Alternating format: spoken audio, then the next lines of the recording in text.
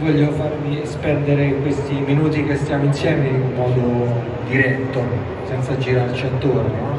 perché faccio un esempio, tante volte sentiamo parlare la politica della questione territoriale dicendo che c'è un tema di non omogeneità delle norme sul territorio.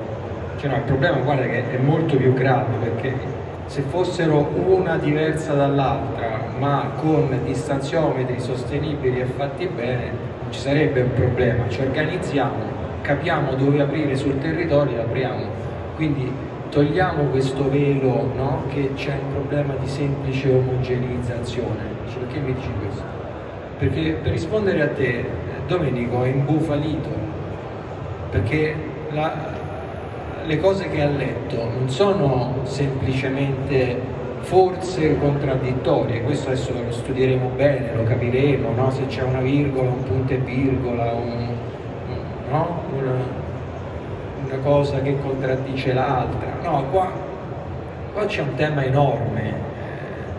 Lo, lo ha sollevato Massimiliano Bucci, credo un paio d'anni fa, non proprio qui, a 50 metri, eravamo nell'altro angolo, quando ci proponeva, proprio a casa tua che ci avevi invitato, di metterci a ragionare su quali fossero i criteri giusti di distribuzione, no?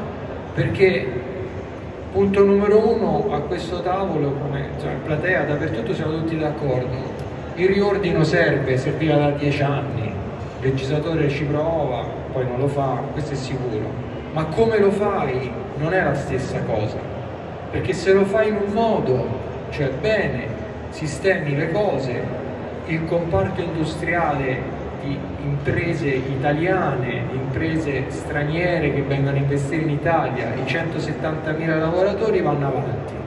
Se lo fai in un altro modo, il comparto cambia, cambia, diventa diverso. Poi sicuramente se sentiamo qualcuno diventa di 20 persone, se sentiamo qualcun altro gli occupati sono molti di più.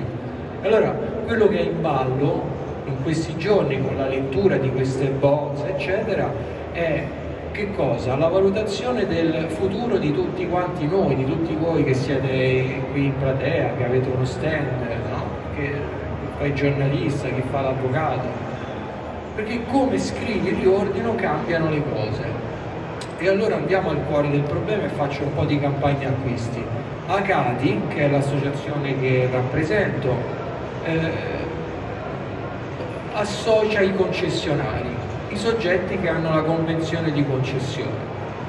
Dal 2018 Acadi, i suoi concessionari, hanno fatto una scelta importante, hanno scelto di entrare in Confcommercio. Tu dici che c'entra? Eh no, il Confcommercio però risponde un po' alle tue domande Domenico perché in Confcommercio tu hai grandissime eh, associazioni confederate come quella della FIPE. La FIPE è la federazione italiana dei pubblici esercizi. EGP FIPE è l'associazione rappresentata da Emanuele Cangianelli che fondamentalmente cerca di portare nel mondo FIPE, nel mondo di Confcommercio l'esperienza delle aziende specializzate del gioco, specializzate. Ma FIBE, chi è FIBE? Pubblici esercizi. FIBE vuol dire bar. Quindi il, la prima casa che sarà attenta all'andamento politico delle valutazioni che si faranno sulle eh, modalità di riordino sarà proprio Confcommercio